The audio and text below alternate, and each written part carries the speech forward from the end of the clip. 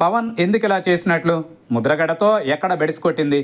జనసేన పవన్ కళ్యాణ్ కాపు ఉద్యమ నేత ముద్రగడ పద్మనాభాన్ని అవమానించారనే అభిప్రాయం బలపడుతోంది. ముద్రగడను పవన్ కళ్యాణ్ కలిసి పార్టీలోకి ఆహ్వానిస్తారంటూ గతంలో వార్తలు వచ్చాయి అయితే ముద్రగడను కలిసే ఉద్దేశం కూడా పవన్ కళ్యాణ్కు ఉన్నట్లు లేదు. రాజమండ్రి వరకు వచ్చి కూడా ఆయన కిర్లంపూడి వెళ్ళలేదు. పైగా ఇతర నాయకులను కలుస్తూ వెళ్ళారు.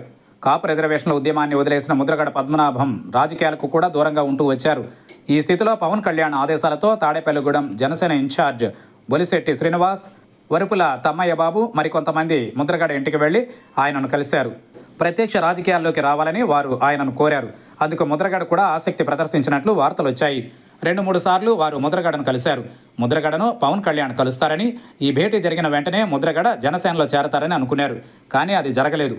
రాజమండ్రి వచ్చినప్పుడు పవన్ కళ్యాణ్ కిర్లంపూడి వెళ్ళి ముద్రగడను కలుస్తారని జనసేన నాయకులు ప్రచారం చేశారు. పవన్ కళ్యాణ్ విశాఖలో పర్యటించి కొణతాల రామకృష్ణను కలిశారు. అక్కడ నుంచి రాజమండ్రి వచ్చారు.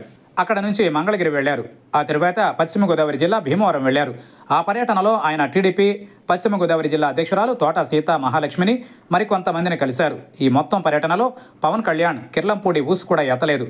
రాజమండ్రి నుంచి కిర్లంపూడి కేవలం యాభై కిలోమీటర్ల దూరం ఉంటుంది. కానీ ఆయన వెళ్ళలేదు కావాలనే పవన్ కళ్యాణ్ ముద్రగడను కలుసుకోలేదనే అభిప్రాయం వ్యక్తమవుతోంది. ముద్రగడను పవన్ కళ్యాణ్ అవమానిస్తున్నారని కాపు సామాజిక వర్గం ఆగ్రహం వ్యక్తం చేస్తోంది.